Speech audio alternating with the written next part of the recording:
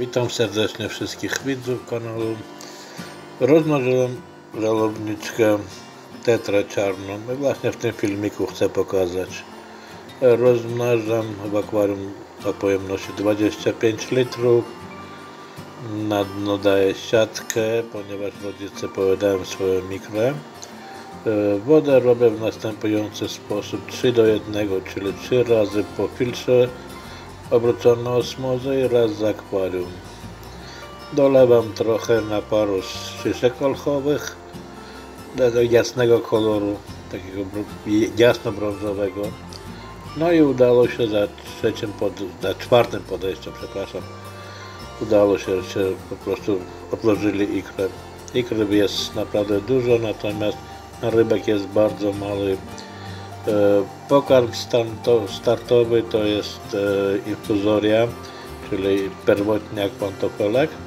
Natomiast w moim przypadku niestety nie było, no i musiałem jakoś ratować i w moim przypadku pokarm startowy był e, ugotowany, znaczy żółtek z jaj ugotowany. E, Na rybek rośnie bardzo szybko, trzeba ich bardzo często karmić, takie 4-5 razy optymalnie dziennie. Po jakichś 5-6 dniach już zaczynają brać artemię. E, Tu widać już brzu- brzuszka mają takie różowe, czyli już artemię biorą. No niestety nie, mamy, nie mam dużo wolnych akwariów, więc cały narybek, tak zwany żlobek rośnie razem. Niestety teraz będzie widać. E, Za chwileczkę. E, Potem powoli przechodzę z artemii na e, krojony rurecznik, drobno krojony rurecznik i później ochotkę. Tutaj właśnie widać wraz ze skalarkami, z brzanką sumatrzańską, albinosem no i mszystą.